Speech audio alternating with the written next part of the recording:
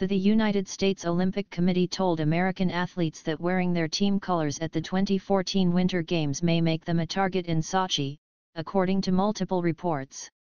The, the United States Department of State has advised that wearing conspicuous Team USA clothing in non-accredited areas may put your personal safety at greater risk, the committee said to the United States athletes in a memo, which was reviewed by the Wall Street Journal. It was unclear when the memo was sent. If you are an American Olympic athlete, you don't want to advertise that far outside the Olympic venues, said a senior State Department official during a recent briefing in Washington, D.C., per CNN.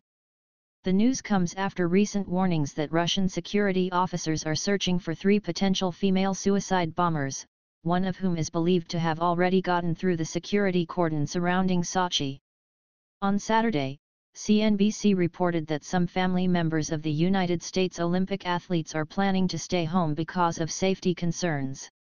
In December, two bombings a day apart in the Russian city of Volgograd, which is 400 miles from Sochi, killed a total of 34 people and injured dozens more.